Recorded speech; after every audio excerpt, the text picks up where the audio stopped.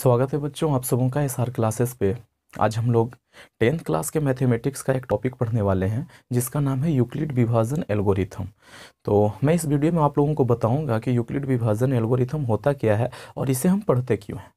तो बच्चों, सबसे पहले सवाल का जवाब मैं दे दूँ कि यूक्लिड विभाजन एल्गोरिथम क्या होता है।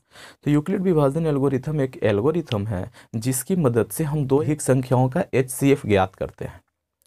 ठीक है? हम यूक्लिड विभाजन एल्गोरिथम में यूक्लिड विभाजन प्रमेयिका को बार बार यूज़ करके दो या नंबरों का क्या करते हैं? एच सी एफ़ फाइंड करते हैं। बस यही है यूक्लिड विभाजन एल्गोरिथम ठीक है? तो यूक्लिड विभाजन एल्गोरिथम में तीन स्टेप्स होते हैं टोटल अगर आप इन तीन स्टेप्स को याद रखते हो तो हम कोई भी दो संख्या का एच सी एफ़ ज्ञात कर सकते हैं, ठीक है? तो सबसे पहले हम यहाँ पे समझ लेते हैं कि होता क्या है, ये कैसे काम करता है। तो मैं एक एग्ज़ाम्पल के ज़रिए आप लोगों को समझाता हूँ। जैसे दो नंबर है हमारे पास, एक नंबर हमने ले लिया फिफ्टी फाइव है और एक और नंबर है हमारे पास, वो ले लिया कि टेन है। और हमें इन दोनों नंबर्स का एच सी एफ़ फाइंड करना है। एच सी एफ़ महत्तम समापवर्तक निकालना है। तो कैसे होगा? तो बच्चों, सबसे पहला स्टेप यहीं पे हमें क्या करना है कि जो बड़ी संख्या है, उसे हम लोग भाज्य बनाते हैं और जो छोटी संख्या है, उसे भाजक बनाते हैं। तो आप लोग कहोगे कि, सर, ये भाज्य क्या है? भाजक क्या है? तो मैं एक बार आप लोगों को वो बता देता हूँ, उसके बाद फिर हम इसे आगे कंटिन्यू करते हैं। तो बच्चों, हम जिस संख्या में भाग लगाते हैं, उसे कहते हैं भाज्य।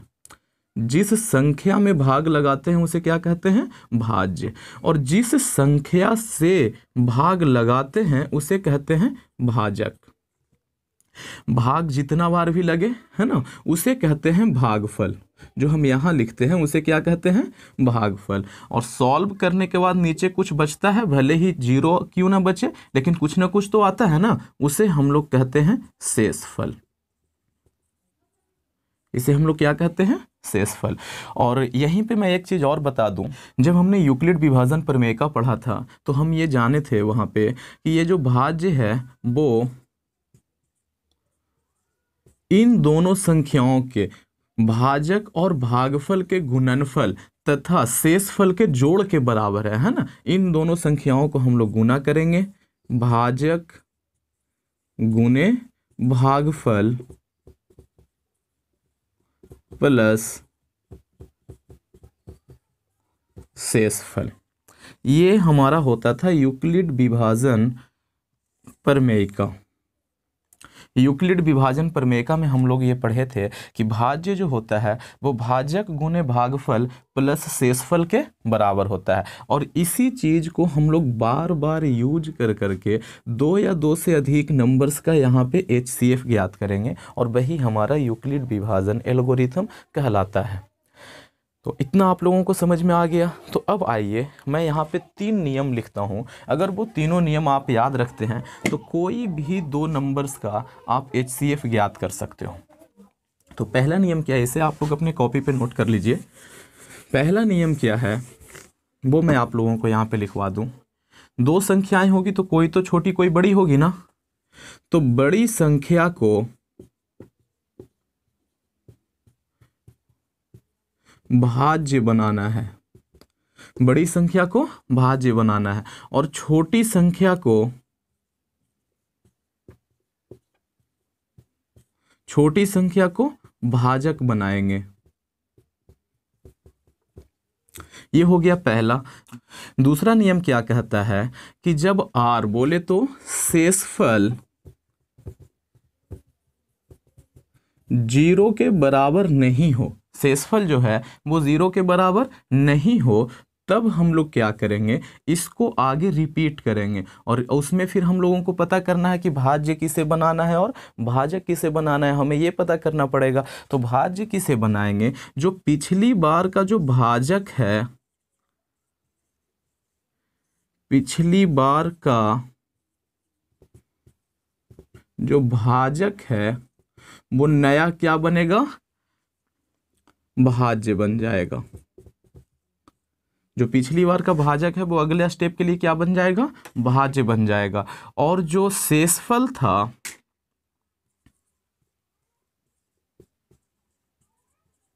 उसे हम लोग भाजक बनाएँगे। है ना? पिछली बार का जो भाजक था, वो भाज्य बन जाएगा और जो शेषफल था, उसे हम लोग क्या बनाएँगे? भाजक बनाएँगे। मतलब कि उससे हम लोग भाग लगाएँगे। ठीक है? और अगर आर ज़ीरो आ जाए इतना करने के बाद आर ज़ीरो आ जाए तो हम लोग रुक जाएँगे। और अगर ज़ीरो ना आए तो नहीं रुकेंगे, फिर से इसी चीज़ को रिपीट करते रहेंगे। एग्ज़ाम्पल के ज़रिए हम लोग समझेंगे, आप एक बार इसे अपने कॉपी पे नोट कर लीजिएगा। एक नियम और है, वो ये है कि इतना हमने किया और हमने देखा कि जो सेसफल है सेसफल को हम लोग आर से लिखते हैं। आर यहाँ पे क्या हो गया? ज़ीरो हो गया। तो तीसरे नंबर पे क्या है? कि जब आर ज़ीरो हो जाए, आर जो है वो क्या हो जाए? ज़ीरो हो जाए। तो उस स्टेप का, जिस स्टेप में आर ज़ीरो हो ना, उस स्टेप का बात कर रहे हैं। उस स्टेप का भाजक जो है, वो हमारा क्या होगा? एच सी एफ़ होगा। उस स्टेप का भाजक जो है, वो क्या होगा? एच सी एफ़ होगा। इतना आप लोगों को याद रखना है, ठीक है? अगर आपने इतना याद रख लिया तो फिर आप किसी भी दो नंबर्स का एच सी एफ़ आप लोग फाइंड कर सकते हो। ठीक है? तो आप लोग एक बार इसे नोट कर लीजिए वीडियो को पॉज करके। मैं आगे बताता हूँ। जिसके ज़रिए हम यूक्लिड विभाजन एल्गोरिथम को अच्छे से समझते हैं। ठीक है? तो हम दो नंबर्स ले लिया। एक हमारे पास 55 है और दूसरा है 10 हमें पता करना है कि इन दोनों संख्याओं का एच सी एफ़ क्या होगा? महत्तम समाप्त वर्तक क्या होगा? तो पहला नियम क्या कहा था कि जो पचपन है बड़ी संख्या है उसे क्या बनाना है? भाज्य बनाना है। ठीक है? तो हमने बड़ी संख्या को क्या कर लिया? भाज्य बना लिया पचपन। और छोटी संख्या जो है उसे क्या करना है? भाजक बनाना है। तो छोटी संख्या को भाजक बना लिया। अब हम भाग लगाएँगे। तो कितनी बार में लगेगा? पाँच बार में लगेगा? पचास आएगा। शेषफल कितना बचा? पाँच। है हाँ, तो इस चीज़ को यूक्लिड विभाजन परमेका में जैसे लिखा जाता था हम वैसे लिखेंगे। जैसा कि मैंने पीछे बताया भी था इसके प्रीवियस में। तो पचपन को कैसे लिखेंगे कि पचपन जो है वो इसके और इसके गुणनफल के बराबर है और प्लस में ये भी रहेगा है ना? तो भाजक गुने भागफल प्लस सेसफल के बराबर है।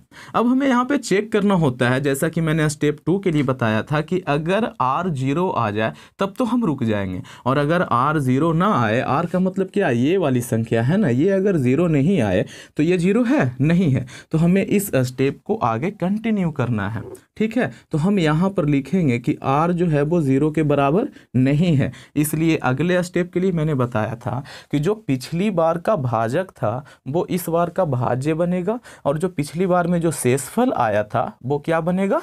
भाजक बनेगा। बात समझ में आई आप लोगों को? नहीं आई? यहाँ देखिए। अगले स्टेप के लिए हम क्या करेंगे कि पिछली बार का जो भाजक है ना, उसको उठा के कहाँ लेके चले आएँगे? यहाँ लेके चले आएँगे। अब ये भाज्य बन गया, है ना? और जो शेषफल बचा था, वो क्या बन गया? भाजक बन गया। अब हम इससे इसमें भाग लगाएँगे। कितनी बार में लगेगा? दो बार में लगेगा, है ना? दस आया। और ये यहाँ नीचे शेष क्या बचा? ज़ीरो बचा। है ना जी? तो देखिए, ये जो संख्या है, ये संख्या है, वो कहाँ आ जाता है? यहाँ आ जाता है। भाज्य बन जाता है। और ये जो संख्या है, वो कहाँ आ जाता है? यहाँ आ जाता है। भाजक बन जाता है ना? तो दस था, उसे हमने पाँच से भाग लगाया तो कितनी बार में लगा? दो बार में लगा। और शेष कितना बचा? ज़ीरो। शेष कितना बचा है? ज़ीरो। हम यहाँ से देखेंगे, है ना? इस दस के इक्वल क्या लिखेंगे कि ten is equal to five into two और प्लस में क्या है? ज़ीरो। यहाँ पे आर क्या आ गया? ज़ीरो के इक्वल आ गया ना? है ना जी? ये देखिए आर जो है वो क्या हो गया? ज़ीरो के इक्वल आ गया। ज़ीरो के बराबर आ गया। तो जब आर ज़ीरो के बराबर आ जाए तो मैंने तीसरे नंबर पे क्या लिखवाया था? कि जब आर ज़ीरो हो जाता है तो उस स्टेप का जो भाजक होगा, वही हमारा क्या होगा? एच सी एफ़ होगा। तो हम लोग चेक करेंगे कि इस स्टेप का भाजक कौन है? तो भाजक यही है ना? इसी संख्या को तो भाजक बोलते हैं। तो कौन है? पाँच है। तो हम लोग लिखेंगे कि एच सी एफ़ ऑफ़ इसको कैसे पढ़ते हैं? एच सी एफ़ ऑफ़ किसका? इन दो संख्याओं का, है ना? पचपन, कॉमा दस इज़ इक्वल टू कितना हो जाएगा? फाइव और यही है यूक्लिड विभाजन एल्गोरिथम, जिसके ज़रिए हमने क्या किया? एच सी एफ़ फाइंड कर दिया। ठीक है जी? आप इसको क्या कर सकते हो? दस कौमा पचपन भी लिख सकते हो। कोई अलग बात नहीं है वो, कोई दूसरी बात नहीं है। तो तो आइए यूक्लिड विभाजन एल्गोरिथम को एक और एग्ज़ाम्पल के ज़रिए समझने की कोशिश करते हैं। मैं उम्मीद करता हूँ कि इस एग्ज़ाम्पल के ज़रिए आपको जो भी डॉट्स होंगे, वो सारे क्लियर हो जाएँगे। तो देखते हैं अगला एग्ज़ाम्पल क्या है। इस बार एग्ज़ाम्पल हमने दो संख्याएँ लिया है। एक संख्या 112 है और दूसरा क्या है? 15 है। तो मैंने पहले स्टेप में क्या बताया था कि बड़ी संख्या को भाज्य बनाना है ना तो बड़ी संख्या को हमने क्या कर लिया? भाज्य बना लिया। छोटी संख्या को क्या बनाना है? भाजक बनाना है। छोटी संख्या को भाजक बना लिया। अब इसमें क्या करेंगे? भाग लगाएँगे। तो कितनी बार में लगेगा? सात बार में लगेगा। कितना आएगा? एक सौ पाँच। शेषफल कितना बचेगा यहाँ पे? शेष कितना बचेगा? तो बारह में से पाँच चला गया तो कितना बचेगा? सात बचेगा। है ना? सात बच गया। तो अब इस चीज़ को हम लोग यूक्लिड विभाजन परमेका में जैसे लिखते हैं, वैसे लिखेंगे। क्या है ये जो बड़ी संख्या है? भाज्य बराबर, क्या भाजक गुने भागफल प्लस शेषफल? तो भाजक कितना है? पंद्रह। भागफल कितना है? सात। और शेषफल भी कितना है? सात ही है। ठीक है जी? तो क्या यहाँ पर आर ज़ीरो के बराबर है? तो बोलेंगे आर जो है वो ज़ीरो के बराबर नहीं है। तो हम इस स्टेप को आगे बढ़ाएँगे और अगले स्टेप के लिए क्या करना है? अगले स्टेप में इस संख्या को हम लोग भाज्य बनाएँगे और इस संख्या को भाजक बनाएँगे। ये वाली संख्या शेष फल को भाजक बनाते हैं। मतलब कि ये जो सात है, इसे हमने भाजक बना दिया और इस पंद्रह को भाज्य बना दिया। कितनी बार में लगेगा? दो बार में लगेगा। कितना आया? चौदह। शेष कितना बचा? एक बचा। अब इस चीज़ को यहाँ लिखना है तो सात को क्या लिखेंगे? सात। पंद्रह को लिखेंगे सात गुने दो और प्लस एक। शेष कितना बचा? एक बच गया ना शेष। यहाँ भी आर जो है वो ज़ीरो के बराबर नहीं है। आर ज़ीरो के बराबर नहीं हो रहा है। तो हम क्या करेंगे? इसे फिर से कंटिन्यू करेंगे। कंटिन्यू करने का तरीका वही होगा। ये जो संख्या है वो इस बार भाज्य बनेगा, है ना? और ये संख्या क्या बनेगा? भाजक बनेगा। तो कितना यहाँ से समझते हैं चीज़ों को? ये एक है, भाग लगाएँगे किसमें? सात में। तो कितनी बार में लगेगा? सात बार में ही लगेगा और शेष कितना बचेगा? ज़ीरो बचेगा। तो कैसे लिखेंगे? एक गुने सात और प्लस में शेष कितना बचा? ज़ीरो बचा, है ना? तो यहाँ पे लिखेंगे कि आर जो है वो ज़ीरो के इक्वल हो गया। इसलिए एच सी एफ़ कौन होगा? एच सी एफ़ ऑफ़ इन दोनों संख्याओं का।